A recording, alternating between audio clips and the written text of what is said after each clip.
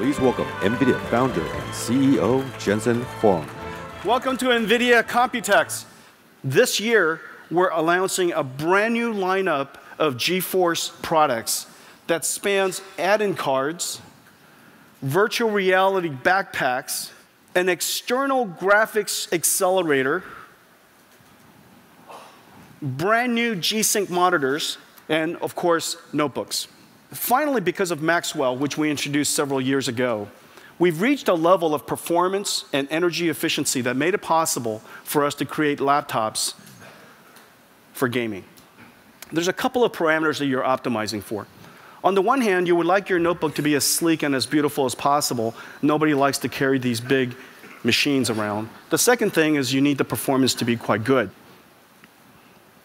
This is what we're going to announce this year.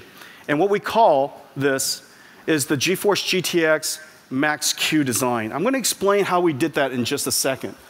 But let me just help you understand, let me just help you enjoy what we're announcing at the show are many partners with designs that are approximately of this specification 18 millimeters, one third the thickness, 18 millimeters, five pounds, half the weight, half the weight three times the performance and powered by our GTX 1080.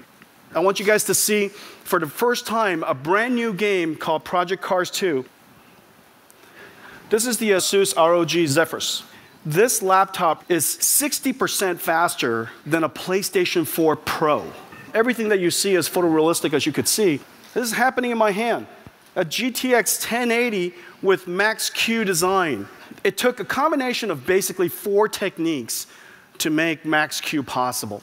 Max-Q basically stands for this.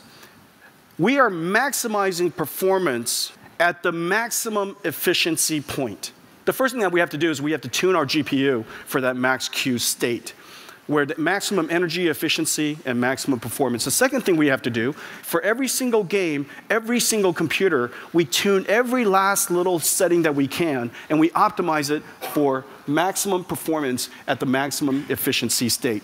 The third thing we do is we simply spared no expenses when it comes down to two very important areas, thermal management, and then lastly, this low voltage regulator, optimized at one volt the combination of all of this and then working closely with all of our system OEMs delivers the Max-Q.